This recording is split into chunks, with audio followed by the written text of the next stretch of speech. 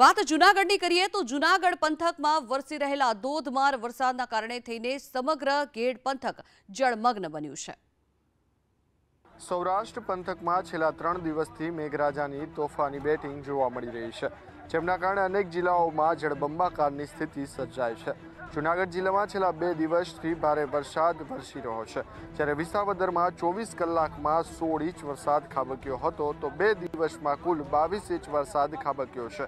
અને જૂનાગઢ શહેરમાં પણ ચોવીસ કલાકમાં સોળ ઇંચ જેટલો વરસાદ વરસ્યો છે. ઉપરવાસમાં ભારે વરસાદને કારણે ખેડ પંથક પાણી પાણી થયું છે. ખેડ પંથકના દસ જેટલા ગામો સંપર્ક વિહોણા થયા છે. તો કેશોદ તાલુકાના સુતરેજ ગામે વાડીમાં બે ખેડૂતો ફસાયા હતા, જેમનું એનડીઆરએફની ટીમ દ્વારા રેસ્ક્યુ કરવામાં આવ્યું હતું. સૌરાષ્ટ્ર પંથકમાં ભારે વરસાદથી અનેક વિસ્તારોમાં તારાજીના દ્રશ્યો સામે આવ્યા છે.